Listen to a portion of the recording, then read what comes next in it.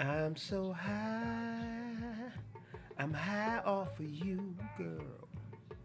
I'm so high, don't know what to do, girl.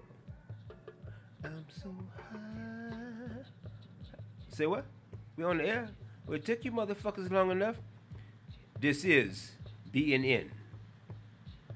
Late Sunday night, a Detroit drummer in his kitchen preparing a hamburger, grease popping, music popping. I will say this to you. Gunshots rang out and the nigga didn't even know it. Said he felt a sharp pain in his right shoulder and said, God damn it, I think I've been shot. Late Sunday night, a drummer of his caliber, Akunda Hollis.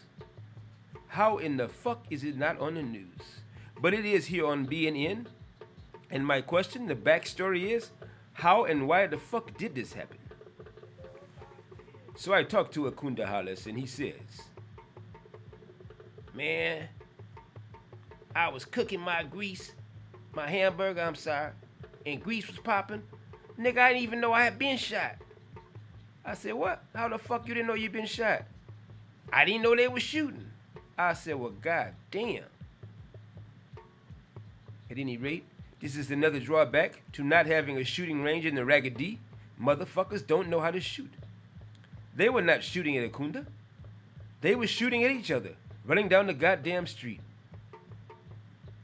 This is fucked up, and this is why BNN is necessary. We are accepting donations for Akunda here at BNN. If he was a cracker of this caliber, they would already have collected about $500,000 for this man. Why in the fuck is he broke anyway? Why is he unemployed? Why is he up cooking goddamn hamburger? He's supposed to have some bitch over there cooking for him. And supposed to not be in the ragged D. Peace out. Yeah, right.